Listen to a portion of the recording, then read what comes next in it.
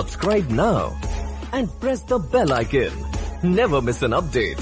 বাংলায় কোভিডের তৃতীয় ঢেউ আসার আশঙ্কার কথা তুলে ধরেছেন চিকিৎসকেরা আর সেই তৃতীয় ঢেউয়ে মূলত শিশুরা আক্রান্ত হবে এমনটাই জানাচ্ছেন চিকিৎসকেরা তাই শিশু ও তার মাকে সুরক্ষিত রাখার জন্য রাজ্য সরকার তৎপর হয়ে উঠেছে তৃতীয় ঢেউ আসার আগেই যত বেশি সংখ্যক শিশু ও তাদের মায়েদের ভ্যাকসিন দেওয়ার ব্যবস্থা করতে হবে।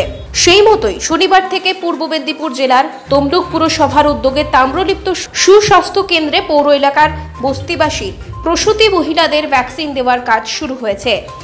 তমলুক পুরসভার প্রশাসক দীপেন্দ্র নারায়ণ রায় জানান। ভ্যাকসিনেশনের কি প্রক্রিয়া চলছে? ভ্যাকসিনেশন আমরা ইতিমধ্যেই ষাটার্ধ মানুষকে ভ্যাকসিনেশন করেছি এবং পঁয়তাল্লিশের নিচেও মানুষকে দিয়েছি। এখন আমরা বেসিক্যালি স্লাম এরিয়া মানে বস্তি এরিয়াতে ভ্যাকসিনেশন করছি এবং গর্ভবতী মায়েদেরকে ভ্যাকসিনেশন করছি যাতে করে তারা সুস্থ থাকতে পারেন এবং যে সমস্ত মায়েদের বাচ্চা বারো বছর পর্যন্ত বয়স তাদেরকেও ভ্যাকসিনেশন করা হচ্ছে। Bureau report, big news, twenty four into seven.